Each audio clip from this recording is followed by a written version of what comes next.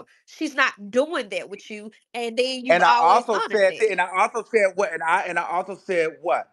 They said the sister was coming for you too. I said, I don't know. I'm not Yeah, addressing because the she's sister not a because that's not the celebrity. celebrity. And what did Milagro say?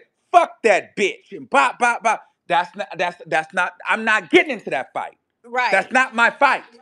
That's not my fight. I'm not taking on no bitch's beat. But you did say you was like, I'm not addressing Hennessy. Hennessy is not the celebrity. She can, she, she'll get, it, it'll just be paid. You'll pay it. Right, right.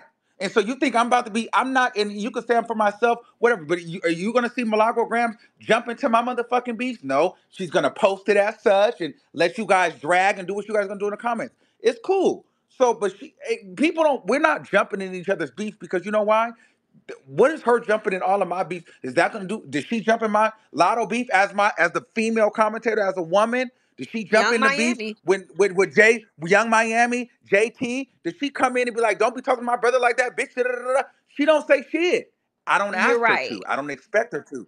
But and I don't get mad that she still live for JT or live for these girls that don't like me or whatever. But like, it, it- like, how could I? Do, did, did did I expect her to fucking stop fucking with Nicki Minaj because Nicki didn't like me? No, and I mean, even when you guys had to sit down, it was addressed about Cardi, and you did try to, you know, make the amendments then, you know, and you you And in, in, tried in, to. in, in, in all fairness, in all fairness, let's just talk about it. Me and me and Milagro, me and Cardi have similar, you know, getting like background. Me and Cardi started off drug. We didn't see eye to eye. Me and Milagro did not start off cool.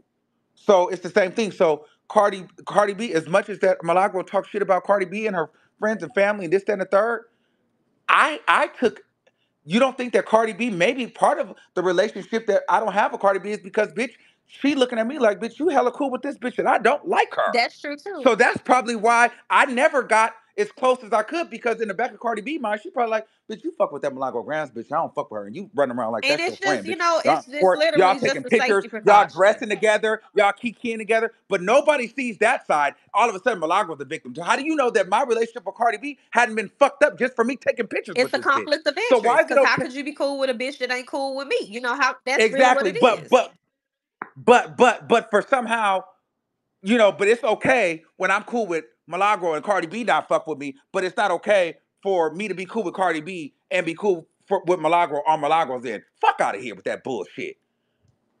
Fuck out of here. Because you, just the same way you feel, Cardi B could feel the same way about me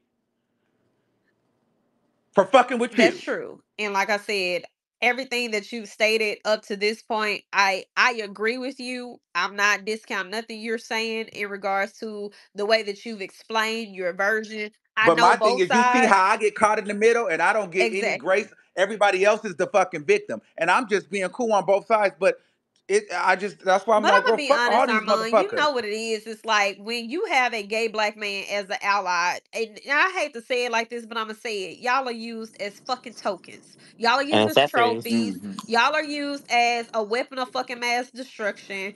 And I'm really not understanding what the caveat is aside from you. And this is not Milagro specifically, but I'm really not understanding what the caveat is in order to even make them attachments to you aside from you being able to have a voice that represents them in a positive light, which does them no good because I have heard you criticize everybody that you give praise to.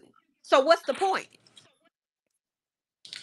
Well, because we can cultivate an audience and bitch and I and I'm and, I, and I'm a motherfucker. I'll go rogue on their ass and, and people will still follow. As much as bitches think I give them clout or as much as these celebrities think that I need them, I still am able to obtain an audience because bitch, I'm good at what the fuck I do. And so they're like, well, shit, we still need to keep this nigga around because this nigga can fuck around and get on TV. Or something you know even if it's not Yep. tv it's like well he gets opportunities and even if they don't want to know the people you are a person you know so you do have a very Yeah. positive uh, i'm not going to say you know all the ti- time positive but in a lot of regards you do have a positive voice you do represent a heavy sector of female culture when it comes to hip hop and also it's your stance like you are doing something a lot of them are not doing specifically for female artists but you know like i get it but at the same time it's like what does that say as far as them towards you? Like, is it always you have to benefit them? Why is it that someone can't gravitate to you and give you a genuine friendship? And again, this is not for Milagro. I love Millie, so please don't carry this back like, oh, this bitch up in here talking about Millie,